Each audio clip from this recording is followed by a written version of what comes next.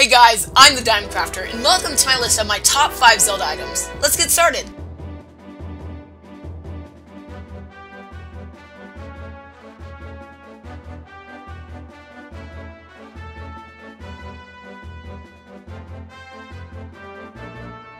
At number 5, we have the spinner. And the reason is one of my favorite Zelda items is because of the creativity of its name. Spinner! The only, and I mean only, downside of the, this item is because it is really only useful in the Arbiter's Ground, but it is extremely fun and unique to use. I mean, you get to smash through the ribs of an ancient skeleton? Yes! After you destroy the skeleton's ribs, you get to spiral up this huge wall and smash its head in? Yes! Get to shove it up your girlfriend's pussy?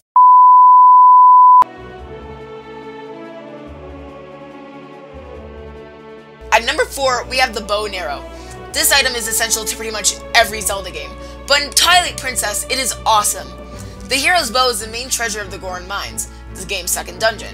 The Gorons had vowed to protect the bow from Zayath's invasion. Dangoro, who had been protecting it, claimed it once belonged to an ancient hero. It can be used from horseback, most notably in the face-off against King Bulblin on the Great Bridge of Hylia. The hero's bow can be combined with the Hawkeye, providing a crosshair and zoom capability for more uh, accurate and long-distance aim. Yeah, that's pretty awesome. I mean, you get to freaking see, and you get to shoot, and you get to see, and you get to shoot! Yeah, that's awesome.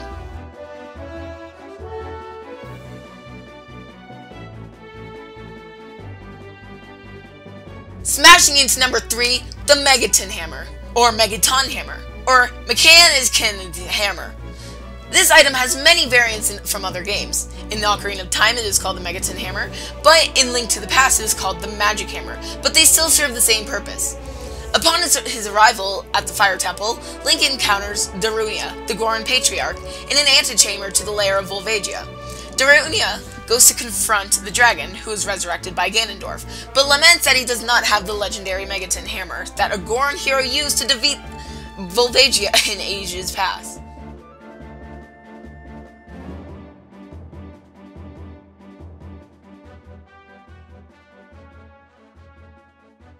Jumping in at number 2, we have the Whip from Skyward Sword.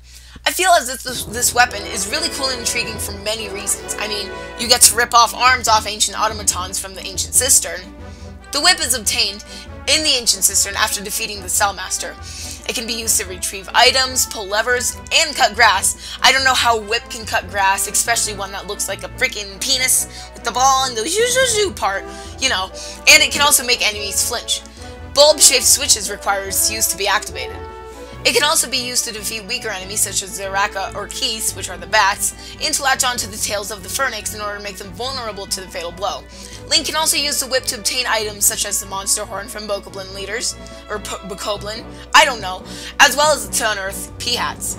The whip has a glowing sphere of light at its end and can harm enemies weak to light such as cursed Bokoblins. It is used by swinging the Wii Remote in the same movement, but obviously you don't want to let go of your Wii Remote or this can happen. And now, time for number one.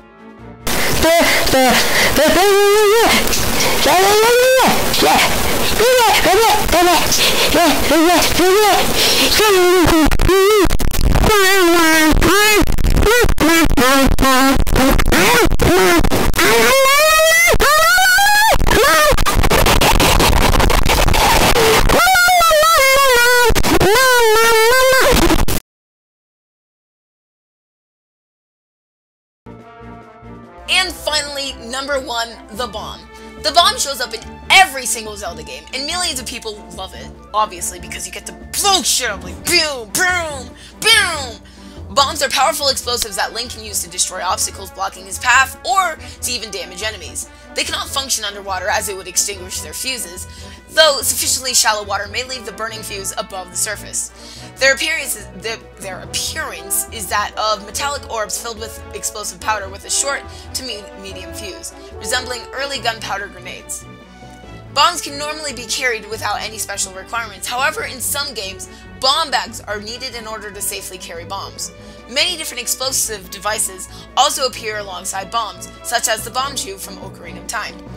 Bombchu are small, Bombchu, yeah, Bombchu, Bombchu, like Pikachu, but Bombchu, like pew pew, pew pew pew, Bombchu are small explosive items and sim similar in appearance to the stylized rodent. The true of the item's name is the Japanese onom onomatopoeic word for a mouse's squeak. If you wanted to know that, you now know it. When released, a Bombchu will, will dash along the surface until its fuse is gone or until it hits a solid object. In both cases, it explodes. Bombchu can, can be used to hit certain far-off targets. Often, the usage, the usage, oh my god, oh my god, the usage of Bombchu is most like, mostly, ah! Often, the usage of Bombchu is mostly or entirely optional. And that, my friends, is my top 5 list of my top 5 Zelda items. Now, go back to what you were doing, like, I don't know, eating granola bars, watching porn, even watching a panda give birth to a baby walrus. Yes! I hope you guys enjoyed this video. I sure enjoyed reviewing these items, and I will see you next time.